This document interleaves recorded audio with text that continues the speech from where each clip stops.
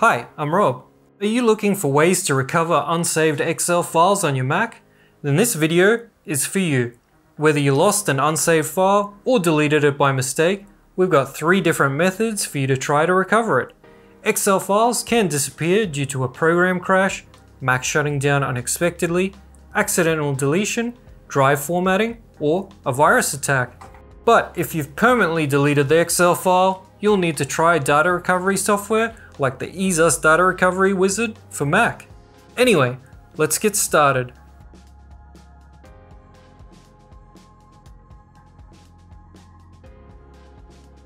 Go to Applications,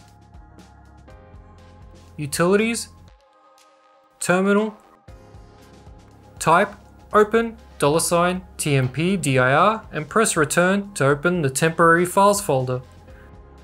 Select the folder named Temporary Items Check if the unsaved Excel file is here and restore it.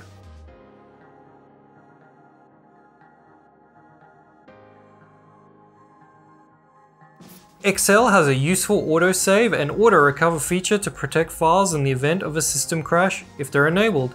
To find the files, go to Applications, Utilities, Terminal.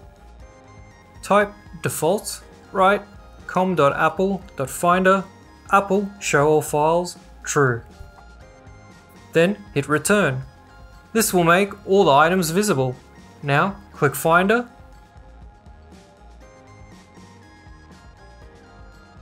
Go. Go to folder. Type the following. Username being your computer's username. And hit the return key to open Excel's auto recovery folder. Find the unsaved spreadsheet files here.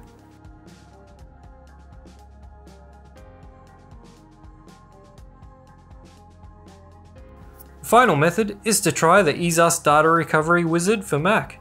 Find it linked in the video description. Once it's downloaded and installed, launch it and hover the mouse over the device where you lost an unsaved file and click Search for Lost Files. After the scan, click Type and expand unsaved documents. Double click to preview your unsaved files. Select the right version and click recover to save the file to another secure location on your Mac. I hope this has helped you get your Excel files back. For more great tips in the future, like and subscribe, and we'll see you next time. Bye for now.